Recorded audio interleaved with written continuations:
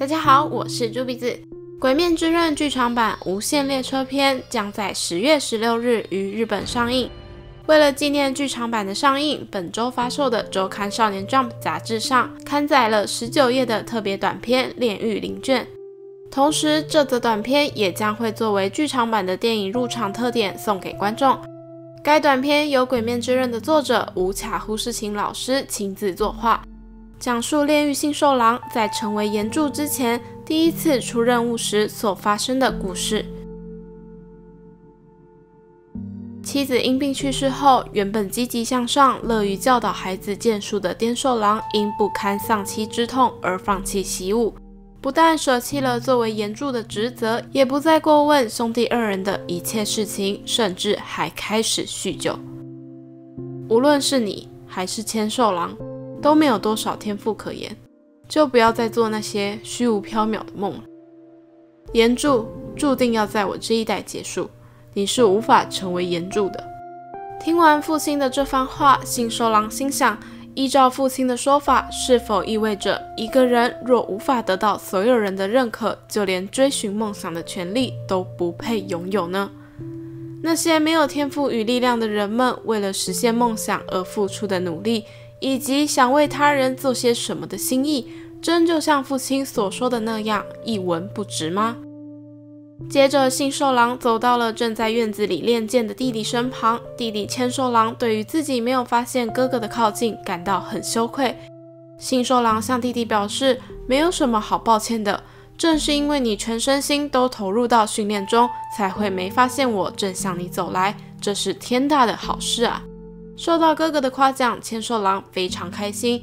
接着，信寿郎摸了摸弟弟的头，并对他说道：“我就要第一次正式出任务了，这段期间家里就麻烦你了。”看着哥哥离去的身影，千寿郎突然喊道：“我会努力训练，争取早日成为像兄长一样厉害的人。”而弟弟的这句话却让信寿郎想起了一段插曲：当年还没成为鬼杀队成员的信寿郎，曾出手救过一个男孩。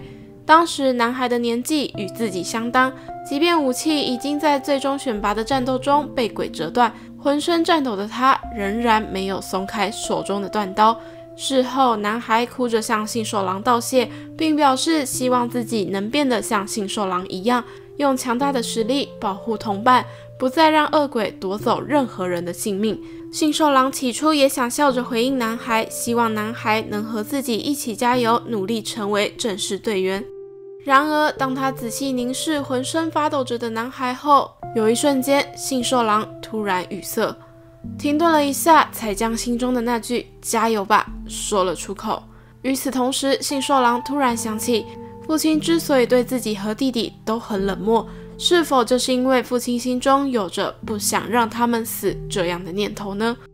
然而，父亲若不将真正的心意说出口，信受郎和千寿郎也永远不会明白的。信受郎赶到任务现场后，鬼的身旁早已躺满了一具又一具鬼杀队成员的尸体，唯一存活的是一名依偎在尸体怀中的孩子。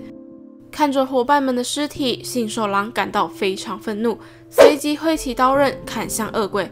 恶鬼也不慌不忙地拿出武器对抗，吹响笛声后，恶鬼的身旁立刻出现了两只猛犬。在恶鬼吹响笛子的那瞬间，信受郎也赶紧用双手捂住了耳朵。面对信受郎的迅速反应，恶鬼相当赞赏。原来这只恶鬼的笛声能够干扰人体内的神经，一旦中招将立刻倒地，且无法随心所欲地控制身体。届时，恶鬼便会让身旁的两只猛犬将倒在地上狼狈挣扎的人类给吃掉。接着，恶鬼还对信受郎说出了一段相当讽刺的话。你们人类日复一日进行的那些锻炼，老夫只要一阵笛声就能将其化为乌有。看着两只猛犬迎面而来，信受郎没有任何一丝丝犹豫，他立刻松开了捂住耳朵的双手，举起刀刃砍向两只猛犬。没等恶鬼反应过来，下一秒信受郎便斩断了恶鬼的头。当自己的头被砍断了之后，恶鬼才意识到。原来信受郎早在抬起双手捂住耳朵时，就已经用蛮力将自己的耳膜给震破了。面对恶鬼的疑惑，信受郎补充解释道：“是伙伴们所留下的手势暗号，向我揭示了你的特殊能力。”由于身体早已不听使唤，因此可能使手势失准。但这些碎片化的情报也足够我用来应战。随后，怒喊着自己即将晋升为十二鬼的恶鬼也渐渐地消散了。就这样，信兽狼完成了他的第一次任务，成功地从恶鬼手中救下了手无寸铁的小孩。安抚完孩子后，信兽狼握着早已死亡的伙伴的手，在内心里对着这些死去的伙伴们说道：“多亏了大家，我才能救下这个孩子。谢谢你们为了保护其他人而战斗到最后一刻。谢谢你们，同时救了我一命。”我真的好希望自己将来某一天也能成为像你们这样出色的人。对信兽狼而言，人生中会重复经历许多次的选择，然而摆在眼前的选项却绝非无穷无尽，能用来思考的时间也是有限的。这些刹那间做出的选择堆叠在一起，便构成了我们的人生。那些选择为了保护其他人而舍命战斗的人，无疑是令人敬佩的。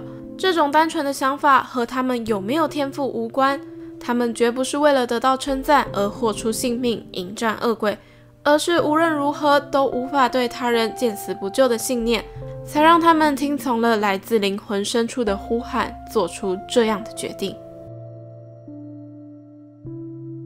以上就是吴巧胡世晴老师在《鬼面之刃》完结五个月后，再次于周刊少年 Jump 上所发表的短篇作品。接下来就让我们一起期待信兽狼将会在《鬼面之刃》剧场版《无限列车篇》中如何大显身手吧。影片就到这里结束了，如果喜欢的话，欢迎订阅我。感谢各位的收看，我们下期再见，拜拜。